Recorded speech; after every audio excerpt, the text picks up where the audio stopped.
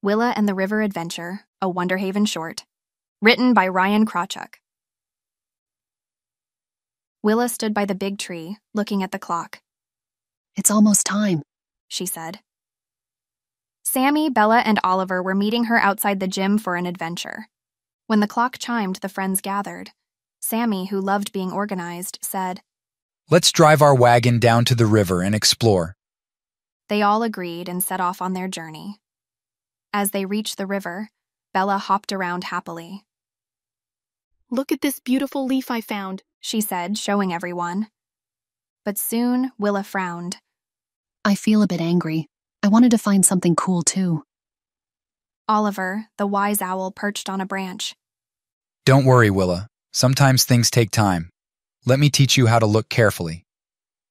Willa smiled and said, I'm glad I have such good friends.